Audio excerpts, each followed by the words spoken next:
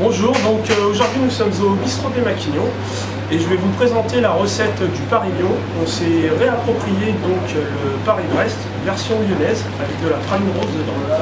Donc je vais vous montrer, donc euh, on part sur la même recette que le Paris-Brest, donc une pâte à choux avec un craquelin qu'on a juste coloré avec du colorant rouge.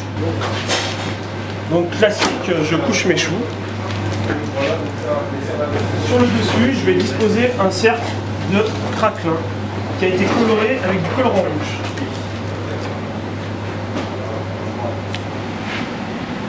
Donc voilà. Et c'est prêt à être enfourné donc à 150 pendant 30 minutes. Donc voilà, maintenant je vais vous, ex- vous expliquer donc la crème euh, du Parillon. Donc il s'agit donc d'une crème anglaise, base crème anglaise. On va y ajouter donc la crème pâtissière. Va incorporer donc à la crème anglaise.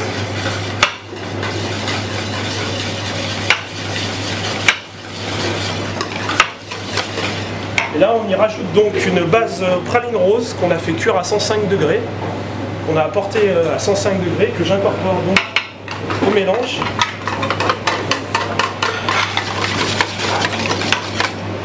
Et j'ajoute donc de la crème fleurette.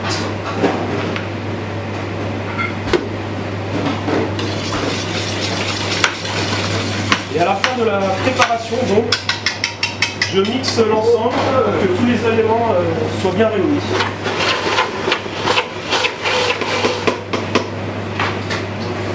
Et donc je laisse cette préparation euh, au frais 24 heures et que par la suite donc je monterai au batteur comme une chantilly, tout classique.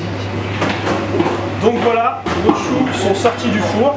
Donc je le découpe en deux. Je dispose la base sur mon assiette. La crème que j'ai montée donc au batteur comme une chantilly.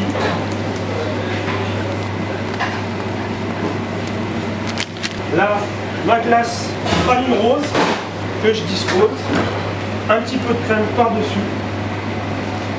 Le chapeau. Et pour la décoration, un petit peu de coulis de framboise. Et un peu de praline rose concassée. Et donc voilà, je vous présente le Paris Lyon du bistrot des Maquignons.